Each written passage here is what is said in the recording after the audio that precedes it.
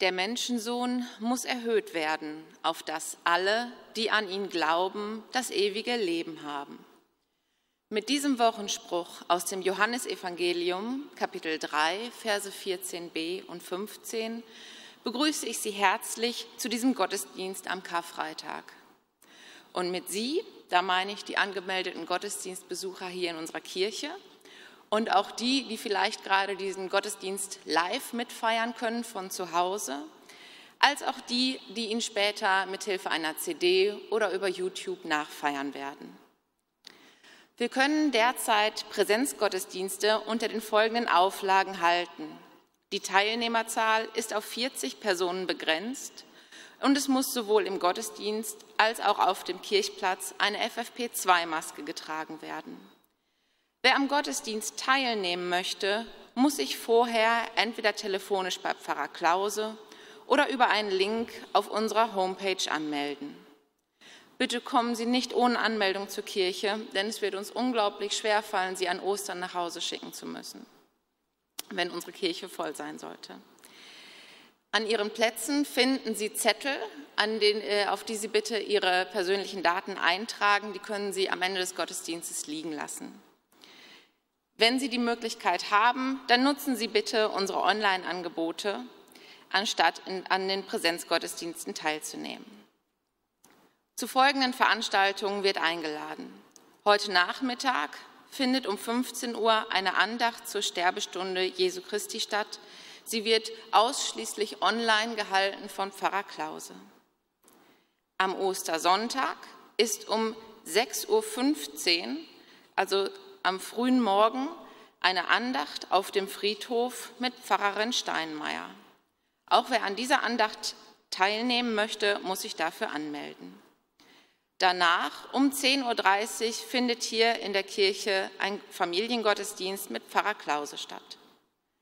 Am Ostermontag ist wieder hier in der Kirche um 10 Uhr ein Gottesdienst unter der Leitung von Pfarrer Klause. Es ist zu danken für folgende Gaben. Gestern am Gründonnerstag sind in der Kollekte 25 Euro zusammengekommen. Gott segne Geber und Gaben. Die Kollekte heute am Ausgang ist bestimmt für die Arbeit mit Ausländern und Flüchtlingen in Westfalen. Und jetzt blicke ich schon einmal an das Ende des Gottesdienstes, an unseren Auszug. Wir haben die Taufkammertür geöffnet, das heißt, die vorderen Reihen können auch von äh, hier vorne die Kirche verlassen und der Hauptausgang, also der Mittelausgang und der seitliche Ausgang sind auch geöffnet. Den können Sie heute nutzen. Gemäß dem heutigen Anlass wird die Gemeinde in Stille ausziehen. Dann wünsche ich uns nun allen einen gesegneten Gottesdienst.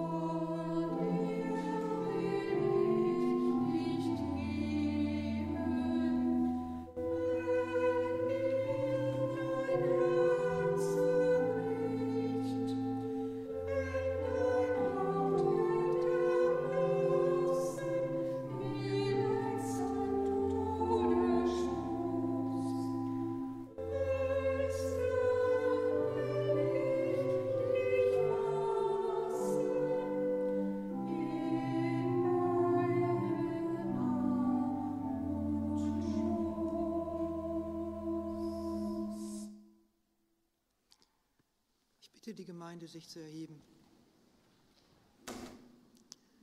Wir haben uns hier versammelt im Namen des Vaters und des Sohnes und des Heiligen Geistes. Amen. Unsere Hilfe steht im Namen des Herrn, der Himmel und Erde gemacht hat. Der Herr sei mit euch.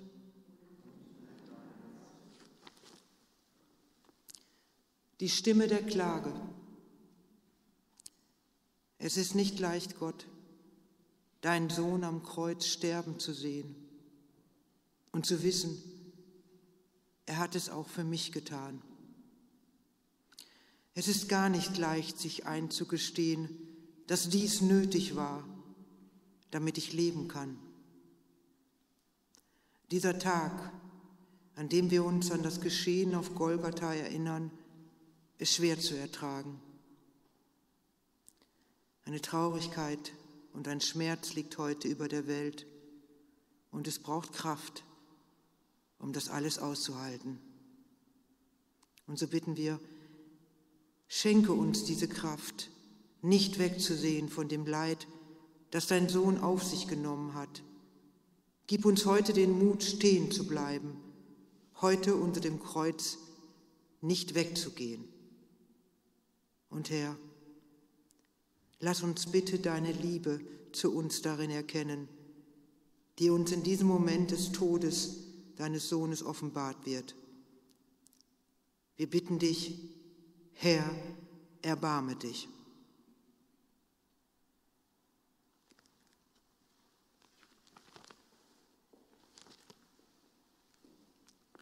Auf dem Textblatt finden Sie den ersten Teil des Psalms 22. Den möchte ich mit Ihnen im Wechsel beten und ich bitte Sie, das jeweils dicker gedruckte zu sprechen. Mein Gott, mein Gott, warum hast du mich verlassen? Ich schreie, aber meine Hilfe ist ferne. Mein Gott, des Tages rufe ich, doch antwortest du nicht, und des Nachts, doch finde ich keine Ruhe. Du aber bist heilig, der du thronst über den Lobgesängen Israels. Unsere Väter hofften auf dich und da sie hofften, halfst du ihnen heraus. Zu dir schrien sie und wurden errettet. Sie hofften auf dich und wurden nicht zu Schanden. Sei nicht ferne von mir, denn Angst ist nahe, denn es ist hier kein Helfer. Aber du, Herr, sei nicht ferne. Meine Stärke, eile mir zu helfen. Du bist ganz anders, Gott, als wir dich denken. Du zeigst dich fremder her, als wir uns träumen lassen. Du hast ein wahres Bild für uns enthüllt in Jesus, deinem und des Menschensohn. Hast deine Ruhe hier dem Leiden unterworfen. Hast deine Allmacht in die Hand von Menschen ausgeliefert hast deine Ehre nackt den Spöttern ausgesetzt und deinen Glanz von Schmerzen nun umhüllt und deine Herrlichkeit ans Kreuz erhoben und deine Ewigkeit ins Sterben eingebracht und deinen Tod, ja, deinen Tod für uns zum Leben aufgerichtet. Amen.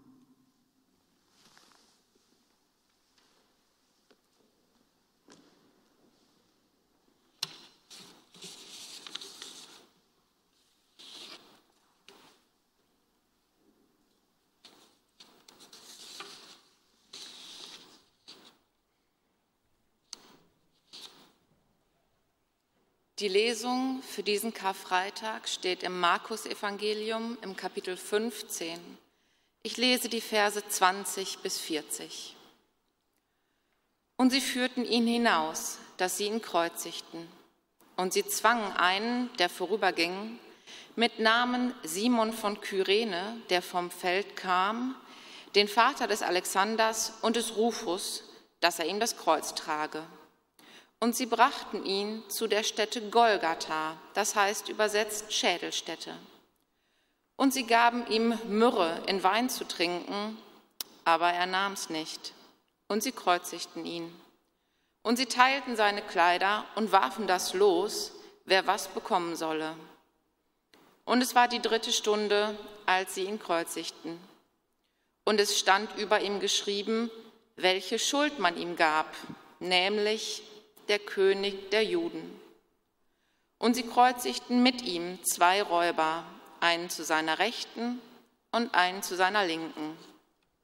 Und die vorübergingen, lästerten ihn und schüttelten die Köpfe und sprachen, Ha, der du den Tempel abbrichst und baust ihn auf in drei Tagen, hilf dir nun selber und steig herab vom Kreuz. Desgleichen verspotteten ihn auch die Hohenpriester und untereinander samt den Schriftgelehrten und sprachen, er hat anderen geholfen und kann sich selber nicht helfen. Ist er der Christus, der König von Israel, so steige er herab vom Kreuz, damit wir sehen und glauben. Und die mit ihm gekreuzigt waren, schmähten ihn auch. Und zur sechsten Stunde kam eine Finsternis über das Land, bis zur neunten Stunde. Und zur neunten Stunde rief Jesus, Eli, Eli, Asabtani, das heißt übersetzt, mein Gott, mein Gott, warum hast du mich verlassen? Und einige, die dabei standen, als sie das hörten, sprachen sie, siehe, er ruft den Elia. Da lief einer und füllte einen Schwamm mit Essig steckte ihn auf ein Rohr, gab ihm zu trinken und sprach, Halt, lasst sehen, ob Elia komme und ihn herabnehme. Aber Jesus schrie laut und verschied. Und der Vorhang im Tempel zerriss in zwei Stücke, von oben bis unten aus.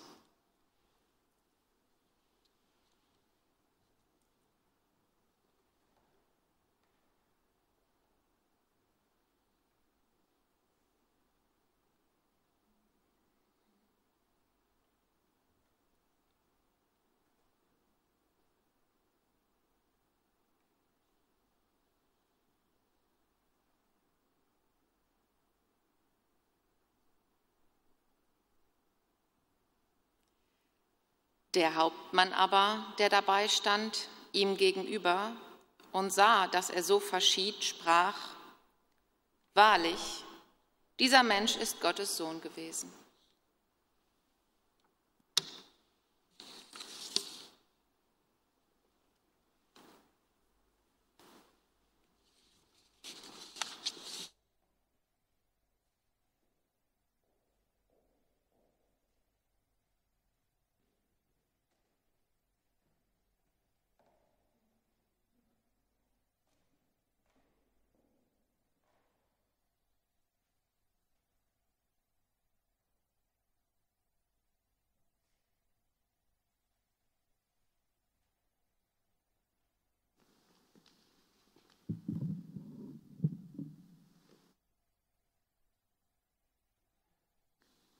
Auf das Evangelium wollen wir mit unserem christlichen Glauben antworten.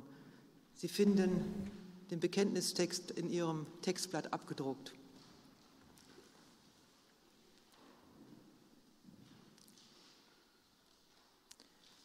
Wir glauben an den einen Gott, den Vater, den Allmächtigen, der alles geschaffen hat, Himmel und Erde, die sichtbare und die unsichtbare Welt.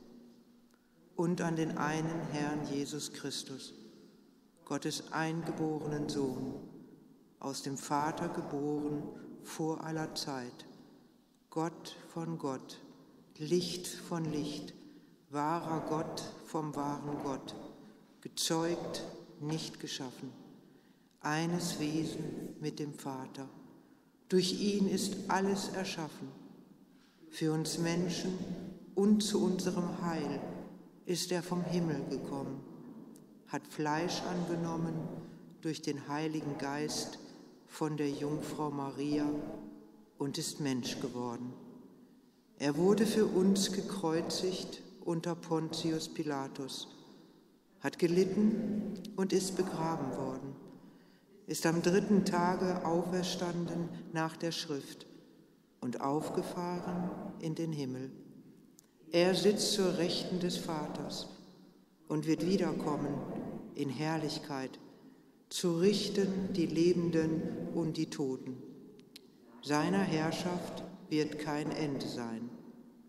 Wir glauben an den Heiligen Geist, der Herr ist und lebendig macht, der aus dem Vater und dem Sohn hervorgeht, der mit dem Vater und dem Sohn angebetet und verherrlicht wird, der gesprochen hat durch die Propheten und die eine heilige, christliche und apostolische Kirche. Wir bekennen die eine Taufe zur Vergebung der Sünden. Wir erwarten die Auferstehung der Toten und das Leben der kommenden Welt.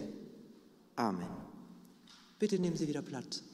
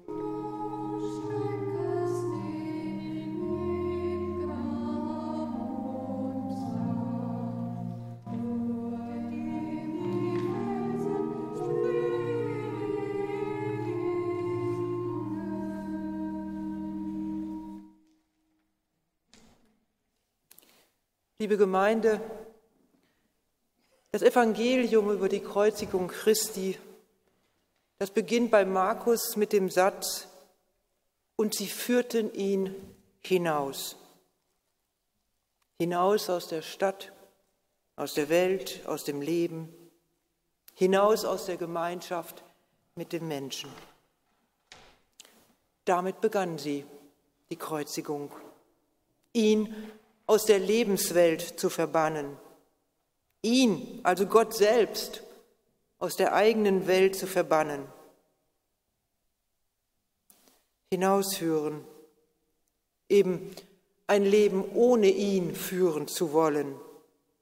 Und eben in diesem Wollen sehen wir auch das Ergebnis, ja den großen Erfolg, den die Schlange im Paradiese mit ihrer Verführung hatte. Wenn es aber ohne ihn gelebt wird, wenn der Mensch meint, die Führung seines Lebens ohne ihn zu übernehmen, dann bringt das den Tod. Es bringt aber an diesem Tag nicht ihren Tod, sondern seinen. Das ist ja das Unerträgliche, Anstößige an diesem Geschehen, dass es sich hierbei um den Sohn Gottes handelte, den sie da hinausführten. Dass, obwohl es sich hierbei um einen Unschuldigen, einen Gerechten handelte, diese Maschinerie des Todes nicht unterbrochen wurde, kein Einhalt geschah, sondern sich vollzog, vollstreckte. Und das musste ja wohl dazu führen, dass jene, die genau das wollten, sich bestätigt darin sahen, dass es sich bei diesem Jesus von Nazareth nicht um den Sohn des Hochgelobten handeln konnte, sondern um einen Gotteslästerer, den diese Strafe, diese Erniedrigung zurecht traf. Wir hörten gerade im Evangelium, wie sie triumphierend unter dem Kreuz standen. Und mit all ihrem Gerede und Geschwätz wollten sie ja noch einmal ihrer Überzeugung und Überlegenheit Ausdruck verleihen, dass sie schon ganz richtig über diesen geurteilt hatten. Wäre er in Wahrheit der Sohn des Hochgelobten, dann würde er jetzt nicht vor ihren Augen leiden und erst recht nicht sterben. Er würde sich aus dieser Lage befreien können.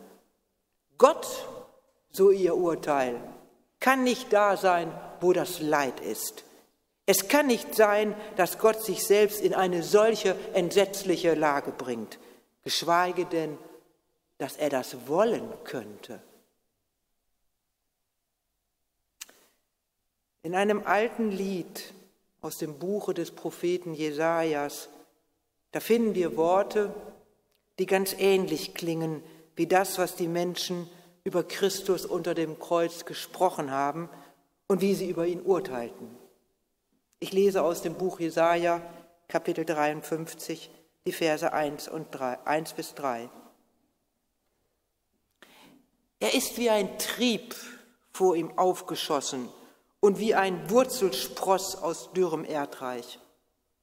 Er hatte keine Gestalt und keine Pracht. Und als wir ihn sahen, da hatte er kein Aussehen, dass wir Gefallen an ihm gefunden hätten.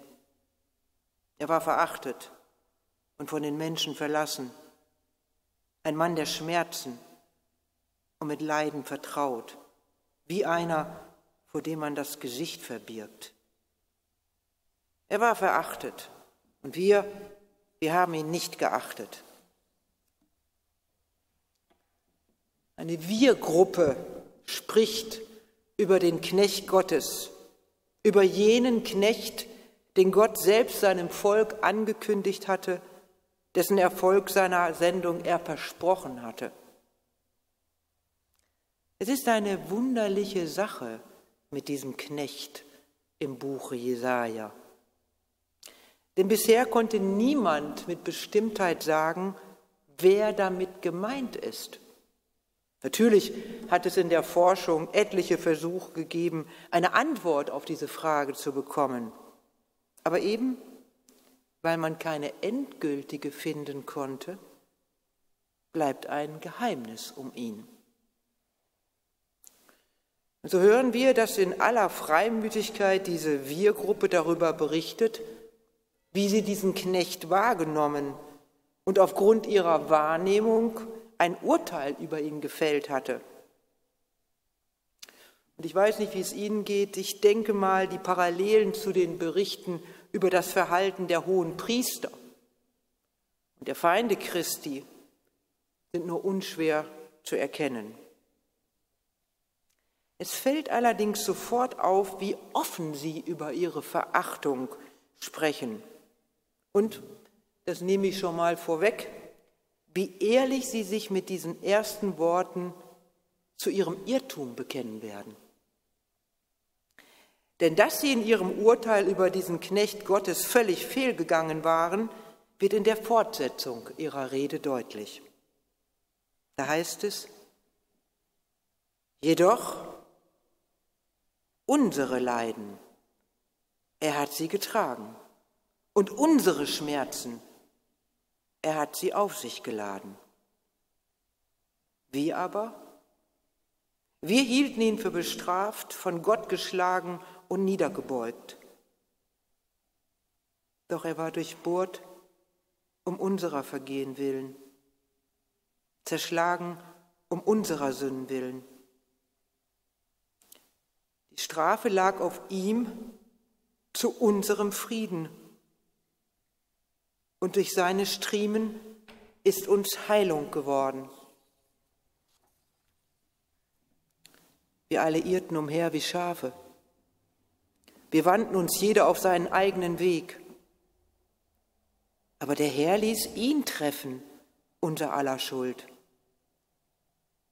Und er wurde misshandelt aber er beugte sich und tat seinen Mund nicht auf, wie das Lamm, das zur Schlachtung geführt wird, und wie ein Schaf, das stumm ist vor seinen Scherern. Er tat seinen Mund nicht auf. Und er wurde abgeschnitten vom Lande der Lebendigen. Wegen des Vergehens seines Volkes hat ihn die Strafe getroffen und man gab ihm bei Gottlosen sein Grab, aber bei einem Reichen ist er gewesen in seinem Tod, weil er kein Unrecht begangen hat und kein Trug in seinem Mund gewesen ist. Er aber hat die Sünde vieler getragen und für die Verbrecher Fürbitte getan. Ich habe diesen Text und diese Verse immer und immer wieder gelesen, um dem Rätselhaften auf die Spur zu kommen, das ihnen ja innewohnt. Das Rätsel, wie es zu diesem Sinneswandel, ja zu dieser völlig neuen Erkenntnis über den Knecht bei ihnen gekommen ist. Jedoch, mit diesem Ausruf wird das Rätsel eingeleitet. Vielleicht ein Karfreitagsruf. Wir werden sehen. Mit diesem Ruf wird das von Ihnen zuvor Gesagte, Ihr Urteil über ihn ausgelöscht verneint. Aber was hatte Sie bewogen? Das ist das Rätsel dieses Liedes in meinen Augen. Und damit ja überhaupt das Rätsel um die Erstehung Ihres Bekenntnisses, Ihres Glaubens an das Werk dieses Knechts. Jedoch, ich frage mich, entspringt dieser Ruf, dieses Wort überhaupt menschlicher Vernunft? Wie aus dem Nichts taucht er auf, ist eben nicht ableitbar, dieser Sinneswandel. Plötzlich existierte da ein ganz neuer Blick auf den Knecht Gottes. wenn ich es mir auch nicht erklären kann, was zu diesem Blickwechsel geführt hat. Eines begreife ich sehr wohl, wenn ich dieses Lied höre. Menschen können so oder so auf den Knecht blicken. Ich kann so oder so auf den Gekreuzigten blicken. Auch das Markus-Evangelium bietet uns zwei Sichtweisen auf Christus an. Aber mein erster Blick Das lehrt mich Jesaja, wird mich immer in die Irre führen. Ich werde ein falsches Urteil über ihn und damit ja auch immer über mich selbst fällen. Auf den zweiten Blick, der diesem jedoch entspringt, da sahen sie zwar immer noch einen Menschen, der übel zugerichtet war, erkannten aber nun, dass seine Lage, dass sein Leid zutiefst mit ihnen zu tun hatte. Ich glaube, dass hier von einem sehr besonderen Blick die Rede ist, einem geisterfüllten Blick. Einen Blick, von dem ich annehme, dass es sich um eine Gnade handelt, wenn man ihn hat. Denn das lehrt mich die Schrift. Er führt zur wahren Erkenntnis über den Knecht Gottes. Sie erkannten, er litt, weil er ihre Schuld trug und nicht seine.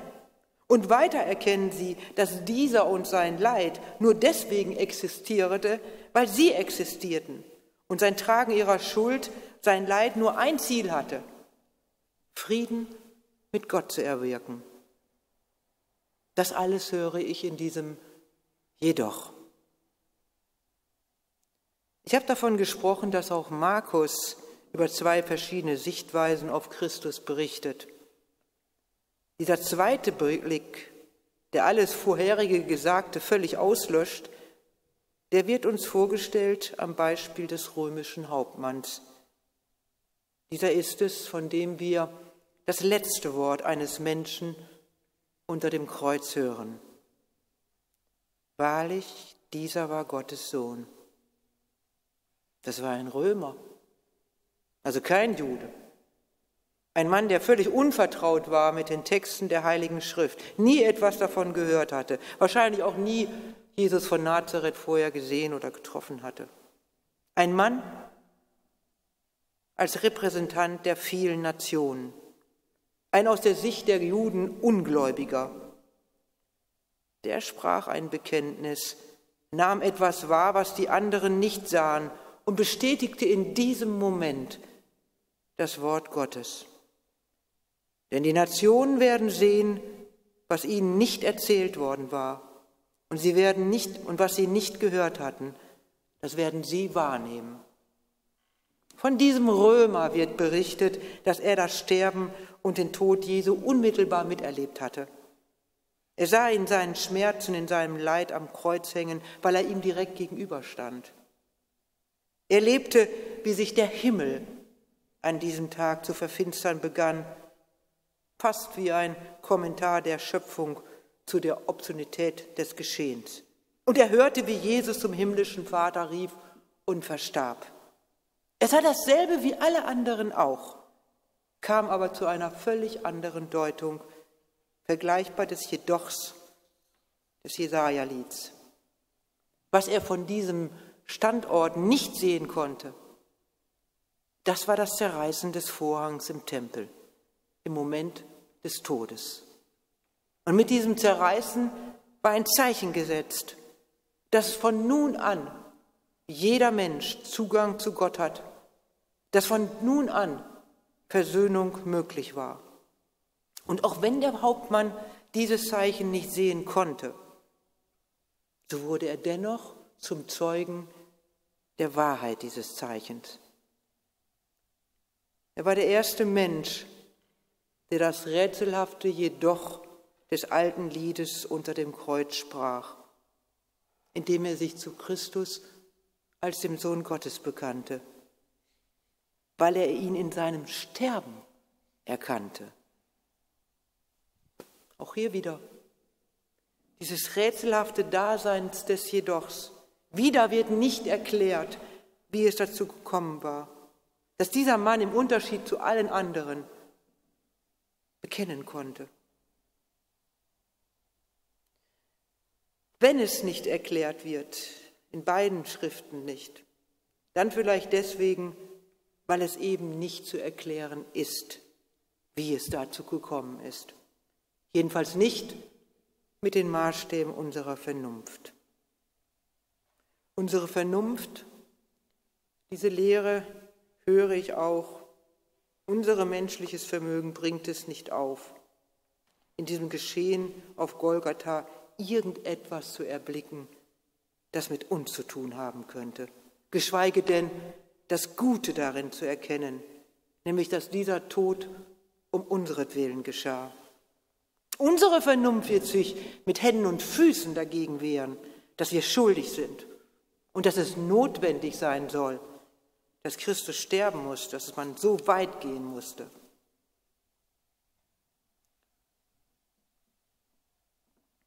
Und deswegen kommen wir von uns aus nicht dahin, in diesem Geschehen das Gute und Heilvolle zu erkennen oder zu begreifen. Unter dem Kreuz Christi müssen wir gerade auch diese Wahrheit erkennen und akzeptieren. Wir kommen mit unserer kleinen Vernunft nicht mal in die Reichweite dessen, was sein Kreuz in Wahrheit für uns bedeutet. Und dennoch und trotzdem fordert dieses Evangelium Glauben. Glauben darin, dass in seinem Tod am Kreuz, im Erleiden unserer Schuld, in diesem Gericht sich Liebe ereignet, Versöhnung mit Gott ereignet, dass all das für uns geschah dass in diesem Akt der Hinrichtung letztendlich nichts das Böse triumphiert, sondern das Liebe.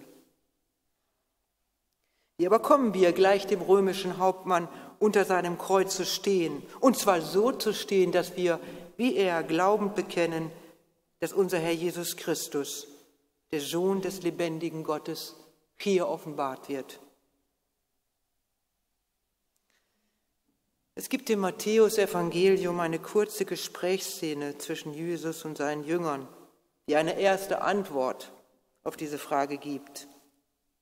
Da fragt Christus sie, ihr, für wen haltet ihr mich? Und da antwortete Simon Petrus, du bist Christus, der Sohn des lebendigen Gottes.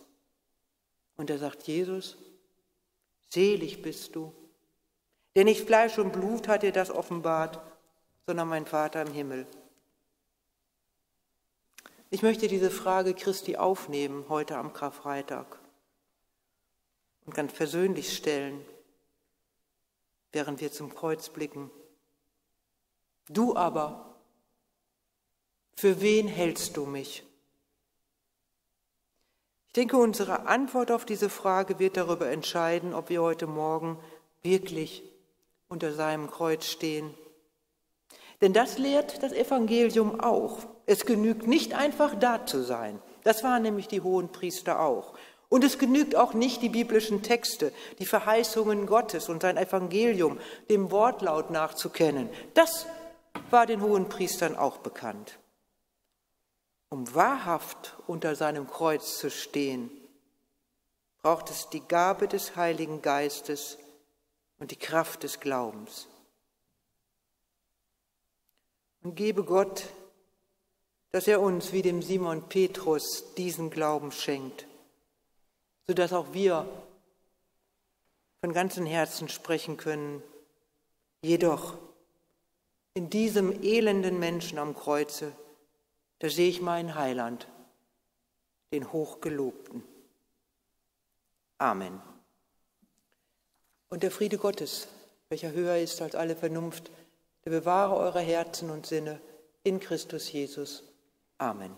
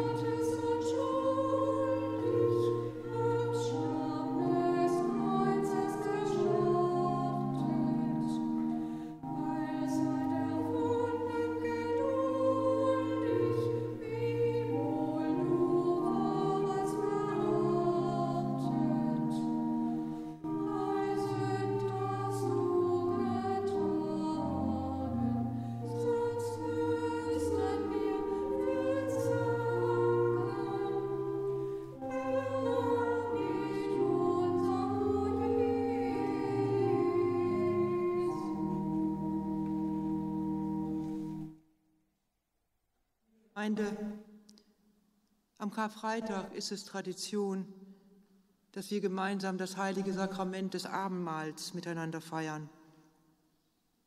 Das ist aber in diesen Zeiten nicht möglich. Dennoch möchte ich durch das Verlesen der Einsetzungsworte an dieses Sakrament erinnern. Im Anschluss an die Lesung werde ich die Gabensworte sprechen, auf die Sie mit einem stillen Amen antworten können. Unser Jesus Christus, in der Nacht, in der er verraten ward, da nahm er das Brot, dankte, brach's, gab es seinen Jüngern und sprach, nehmet hin und esset. Das ist mein Leib, der für euch gegeben wird. Solches tut zu meinem Gedächtnis. Desselbigen gleichen nahm er den Kelch nach dem Abendmahl, dankte, gab ihnen den und sprach, nehmet hin und trinket alle daraus. Dieser Kelch ist der neue Bund in meinem Blut, das für euch vergossen wird zur Vergebung der Sünden. Solches tut, so oft ihr es trinket, zu meinem Gedächtnis.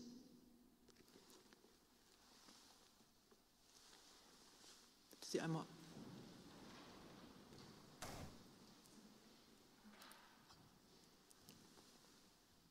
Christi Leib für dich gegeben.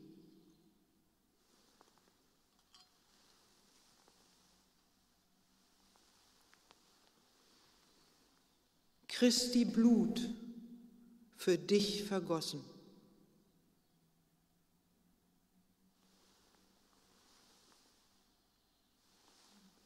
Bitte nehmen Sie wieder Platz.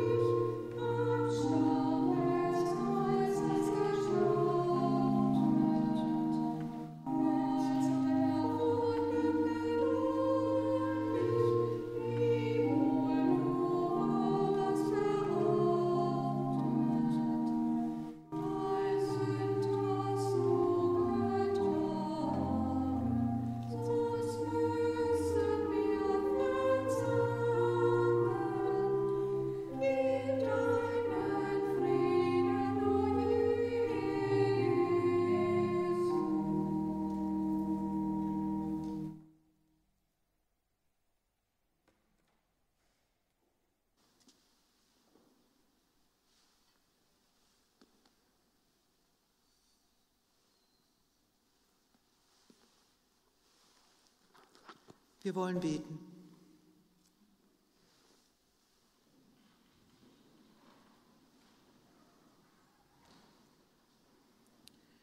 Du nimmst unsere Stelle ein, Herr Jesus Christus. Du ringst mit unserer Angst. Du wurdest geschmäht und von den besten Freunden vergessen. Du hältst unsere Einsamkeit aus und unsere Schmerzen und stirbst unseren Tod. In der Stille bringen wir vor dich, was unser Herz heute bewegt, weil es uns beschwert, weil es uns traurig und hilflos macht und vielleicht auch, weil wir in diesem Moment dennoch eine Dankbarkeit empfinden.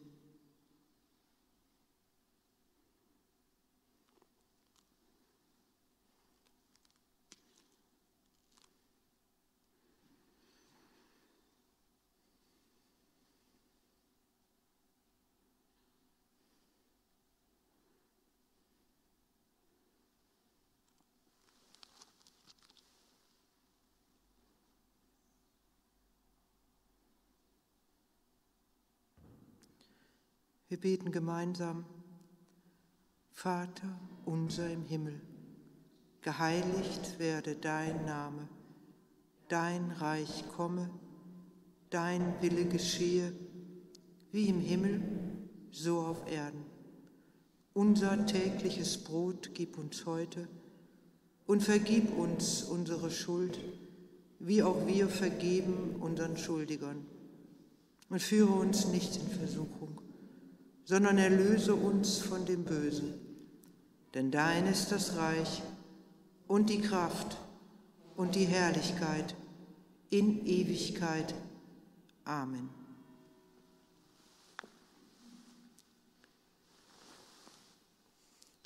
Und so segne und behüte dich der allmächtige und der barmherzige Gott, der Vater, der Sohn und der Heilige Geist